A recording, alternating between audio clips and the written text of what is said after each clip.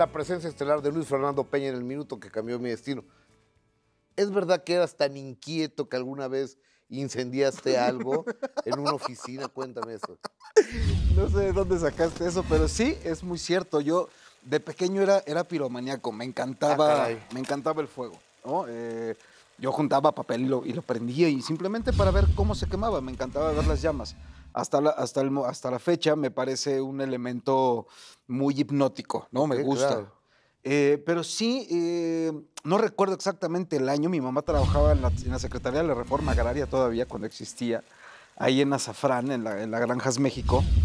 Eh, y yo me llevaba muy bien con todos sus compañeros. Me, me querían mucho y, y yo me sentía pues como en casa. Cobijado. Muy cobijado. Me, me la pasaba por todo el edificio jugando, sobre todo en el almacén. Eh, y un día de estos, de- de- del amor a la pirotecnia, este, se me hizo, yo estaba en el almacén y se me hizo fácil prender uno de estos mechudos de los largos, ¿no? Con los que trapean los, pisos. Se me hizo fácil prender uno y quedarme viendo cómo se prendía y cómo se empezaba a prender el otro. Y perdí lo, per- o sea, era, era tan, tan impactante para mí que perdí noción del tiempo y de lo que estaba haciendo y sobre todo del lugar. Entonces, cuando me di cuenta, nada más sentí un jalón y fue cuando regresé en mí de que ya se estaba prendiendo el almacén y al lado había unos botes, que será como a 4 o 5 metros, había unos tambos de, pues de, de, de- de tiner, ¿no? De solventes. ¿Cómo crees? Sí, eh, terminaron evacuando el edificio. El, el- el jefe, el jefe del almacén era muy amigo de mi mamá. Este, agarró, nos dio, ya después de que, de que evacuaron el, el edificio y que apagaron el, pequeño incendio, eh, apagó los, los mechudos, ¿no? los envolvió en una bolsa, se los dio a mi mamá, le dijo, señora Susana, lleves esto porque si no la van a correr. ¿no? Claro. Fue su pequeño el que hizo todo este relajo. Desastre.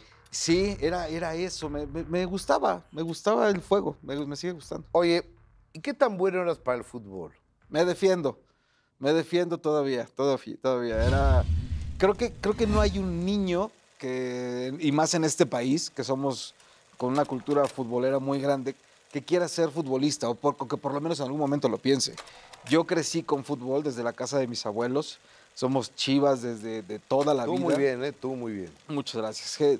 Eh, algunos no piensan lo mismo, pero bueno, eh, somos chivas de toda la vida. Yo a mí me crecí, yo, yo crecí con, con estos partidos cuando transmitían en el, el Real, los partidos del Real Madrid que jugaba Hugo Sánchez, ¿no? O, o los domingos de cuando jugaban las Chivas en el Jalisco, eh, de- de- del Zuli Ledesma, de Alberto Coyote, Benjamín Galindo. Yo crecí con esto y era apasionado hasta la fecha, lo sigo siendo del fútbol. Quise ser futbolista profesional. eh, pero la desidia, eh, la de, sí, la desidia más que, ay, sí, voy a entrenar, era, no, mejor me voy con mis cuates. Fue lo que me, me fue alejando de- de- del plano profesional del fútbol y hoy lo veo, lo, lo disfruto en la pantalla y cuando tengo oportunidad de ir a jugar fútbol, pues voy y me distraigo, me corro, me canso. Creo que, para, por lo menos para mí es una gran terapia, sa- sacar Claro. todo el estrés en, en una, en una pelota. Luis Fernando, ¿por qué, por qué eres actor? ¿Qué es cierto que tu mamá te mete a un curso de teatro pues, para, para que el niño piromaníaco se entretuviera un rato, ¿no? Pues creo que soy actor porque era, era parte de mi destino. Lo- eso lo- hoy lo tengo claro. Yo no quería ser actor, me daba flojera esta parte de estar en un teatro. eh, pero después de haber estado en un, en, un, en, una- en un grupo de teatro en la secundaria donde yo decía, no me gusta esto, llega, llega un momento al final del ciclo escolar donde mi mamá me tiene que meter a un taller de teatro para que no estuviera en la calle de vago, para que no estuviera incendiando cosas eh, para, y fuera mucho más tranquilo y de, de pronto ordenado. Y es en este taller donde conozco al que a la postre terminó siendo mi maestro, el maestro Jorge Correa, donde pues me enseña lo que realmente es el teatro, no, no, no, no, nada más un apréndanse esto y vamos a, a montarlo, no. Él me enseñó como toda esta mística del teatro, me empezó a enseñar todas las partes de un escenario, que si las piernas, las entradas, que era arriba, que era abajo, y era, de pronto era como medio complicado para mí. Y el primer libro que leí en forma, digo, no quiere decir que no haya leído antes, pero que sí me senté como muy, muy minuciosamente a leerlo, fue Pedro Páramo, que se convirtió en mi libro favorito hasta la fecha, y, es lo que me voló la cabeza, ¿no? Porque fue la primera obra de teatro que yo monté con él, con el maestro Jorge, y que lo hicimos eh, eh, en un concepto que, que, pues marcó prácticamente dos años de mi vida, que fue el teatro penitenciario.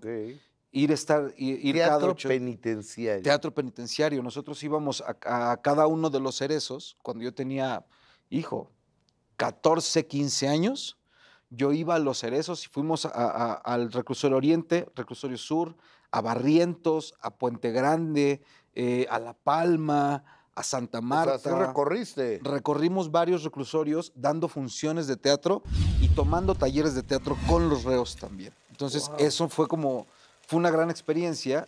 Y el primer día que yo me subí a un escenario fue justo en el reclusorio Oriente y dije, esto lo quiero hacer el resto de mi vida, ¿Con Pedro Páramo? con Pedro Páramo. Oye, es uno de los minutos que cambian tu destino. Definitivamente sí, ver la cara de los reos, eh, independientemente de los porqués ellos estaban ahí, verlos, el cómo podían escapar de este lugar en el que estaban con la imaginación, con nuestro trabajo, con la música, la escenografía, los vestuarios, era como, era, era muy impactante para mí. Era, era muy pequeño en ese entonces y no lograba concebir hasta que después dije, claro, nosotros estamos creando esta ficción y logramos que ellos escapen de su realidad. Claro. Entonces fue cuando dije, quiero hacer teatro el resto de mi vida. ¿Por esa época conociste a Guillermo del Toro? ¿Habrá sido? Fue a Guillermo, yo lo conocí un año después, a los 16 años conocí yo a Guillermo del Toro. ¿Cómo lo conoces después de la pausa comercial? Luis Fernando Peña, venimos.